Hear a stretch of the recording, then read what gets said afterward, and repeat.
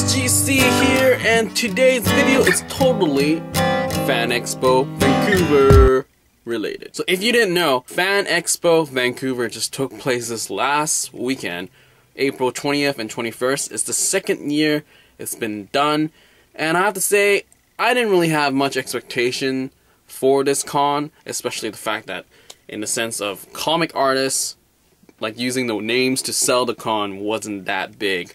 Sure, you might say Stan Lee is a huge name, but really, what has he done recently? That's amazing and that you should totally see him. Not so much. So hopefully maybe next year, bigger names are announced and people will realize that comics needs to be balanced out. Like Emerald City, I didn't do a Emerald City sort of debrief, but Emerald City had a great balance between comics and everything else. So maybe Fan Expo one year will have that balance. It will be interesting though, since it's three days next year, and the organizers are changed for next year. But I won't be around. Oh. So, pretty much I went there and I got three things, or four, three comics to get signed. I, re I remember when I went to Emerald, I brought a suitcase of stuff to sign.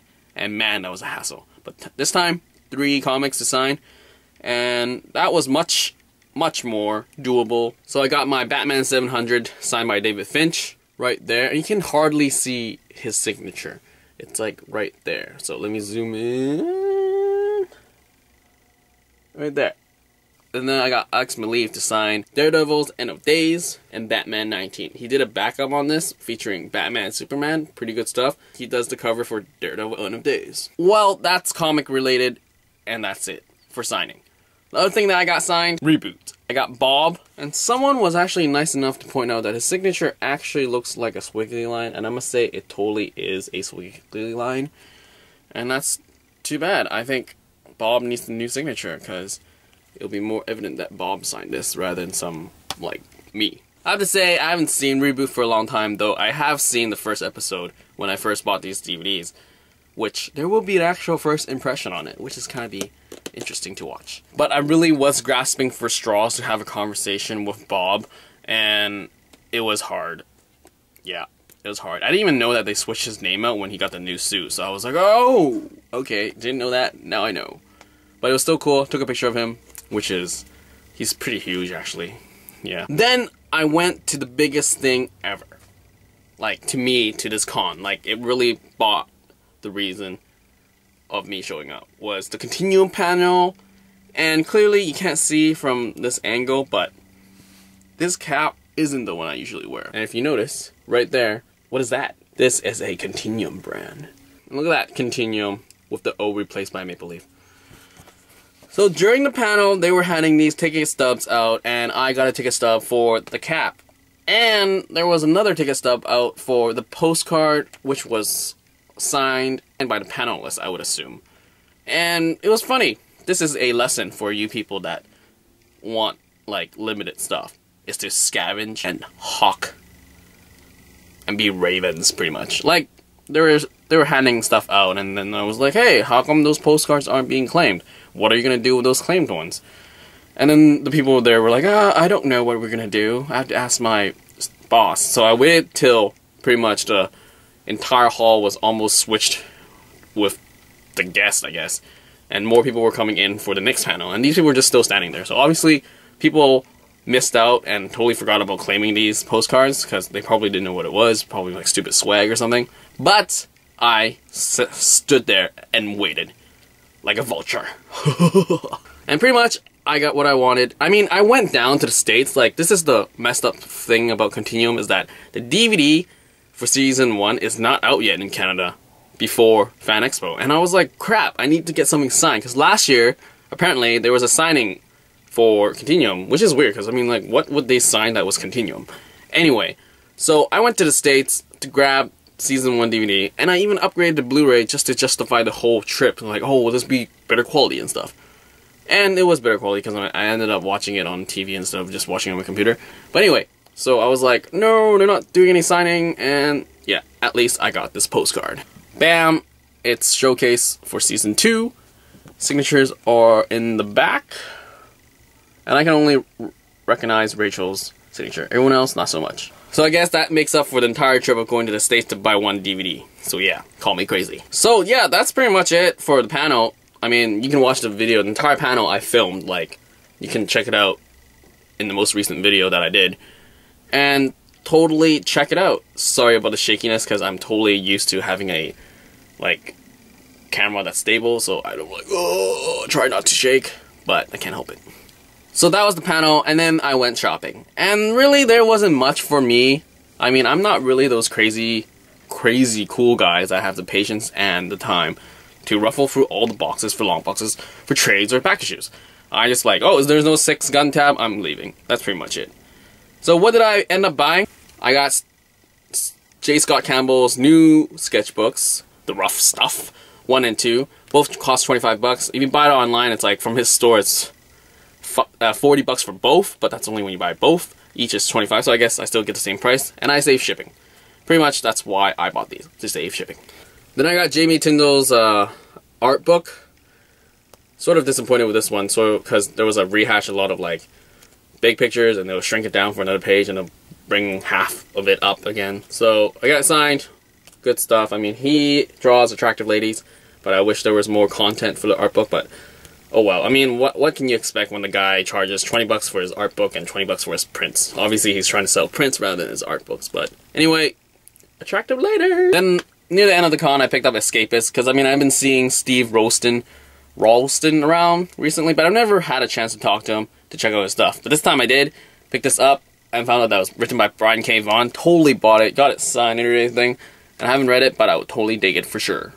I think this is the biggest purchase for multiple things I have, would be the King City single issues. Though I'm missing issue 11. I'm waiting for that, Brandon. Really, issue 11.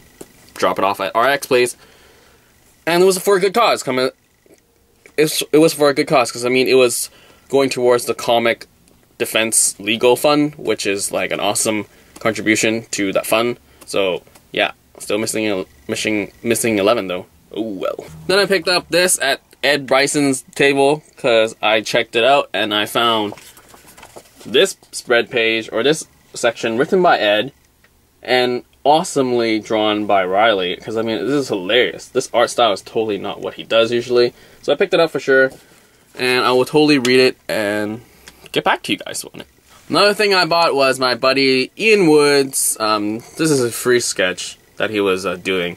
A lot of people were digging these because they were free. And I picked up something that I actually had to buy. It was $2 mini comic and it opens up and everything and it's amazing.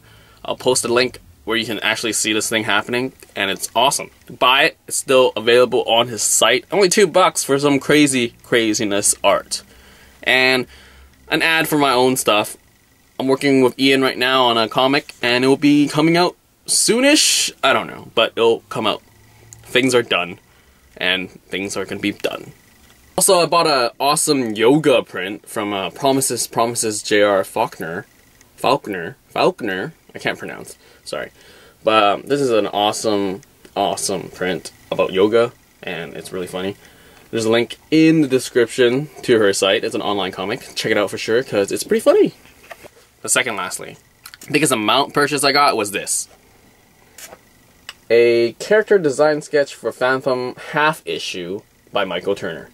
Michael Turner left us 10 years ago, and I mean, I can't afford any of his original pages because it's just mightily expensive. And this character design sketch was so much more in my budget, and I totally had to grab it. And I guess I will have to like just have peace with just owning this piece of art, and that's it for Michael Turner because I really cannot justify or even have enough money to purchase any of his original pages that have been published. So yeah, original character design sketch for Fathom half issues, and that is all. Now the biggest thing about cons for myself.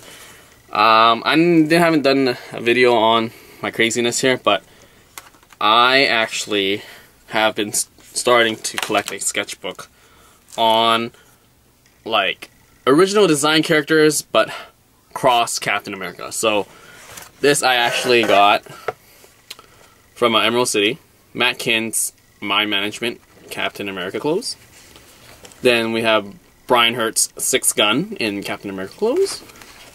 And next we have Prophet by Simon Roy in Captain America clothes, or shredded ones, anyways. Then we have Pia Grilla, Grilla from Y the Last Man, Captain America clothes. Next we have the crazy writer that really should draw. Ed Brisson's Comeback Times Cross Captain America.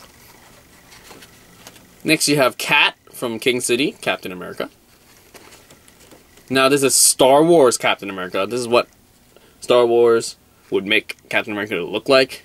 Done by Doug Wheatley. Then we got Promises, Promises, uh, Shat, Shat, Shat, Sh I forgot her name, the character, but here's a yoga pose by Captain America. Marley Sacone. I can't pronounce names. I'm probably pronouncing it wrong. Sorry, Marley. But here's Donatello as Captain America. And lastly, Godzilla and Captain America. Also by Jason Copland, Mecha Cap and Mecha Thor.